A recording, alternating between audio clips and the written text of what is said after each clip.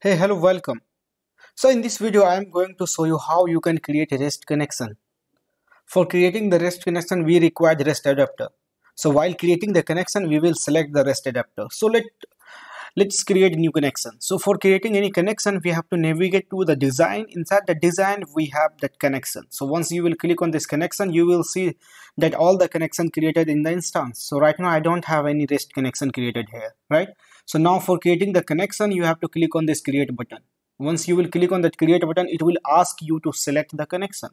So here I will select the connection as REST. Right, so I have selected the REST connection and it will ask to the name of the connection. So I will provide the name as XX REST connection. And now here I will select this REST connection as a trigger.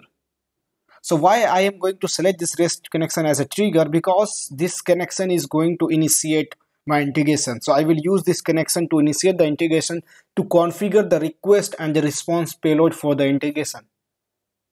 So if suppose I want to call any REST web services, for that we need to create that invoke type connection or trigger and invoke type connection. So right now i don't want to call any other rest services external rest services. That's why i will choose only trigger type connection.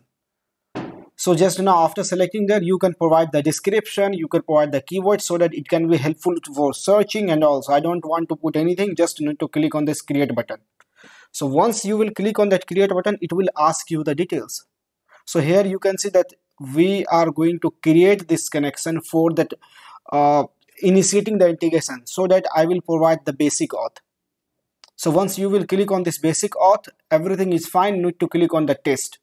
So once you will click on the test, you can see that connection XX REST created test successfully. It means that it's now ready to use, ready to use in integration. So as I told you, this connection role is trigger. It means that this connection is just going to help the integration to initiate to execute start the execution of that integration. Nothing else.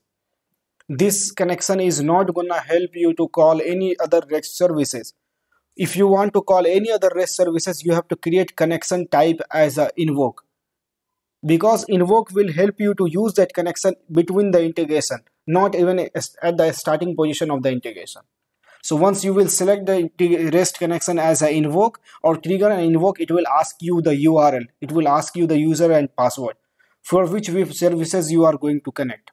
I will show you. Okay. So now here I have to click on this test and done. Integration, my connection is created successfully. Just go back.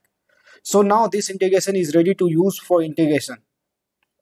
Using this REST connection I can configure we can configure the request and response payload of the integration app driven integration.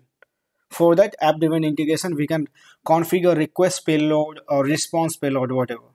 So if you will see I told you the connection type is the trigger right? So if you will go and will select resist rest I'm not going to create just for demo purpose I will show you. Rest con 2 and here if I have selected trigger and invoke or you can see invoke whatever.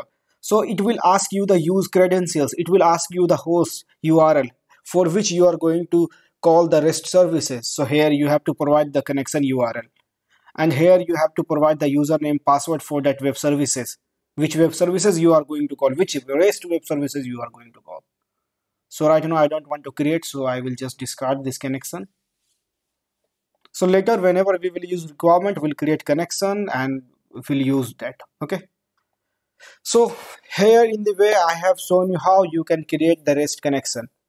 In next video i will create one connect uh, integration. In that integration i will use rest connection to make a request and response payload. I will use atp adapter connection to insert data into atp table and use sftp connection to get the data from sftp server. So thank you so much for watching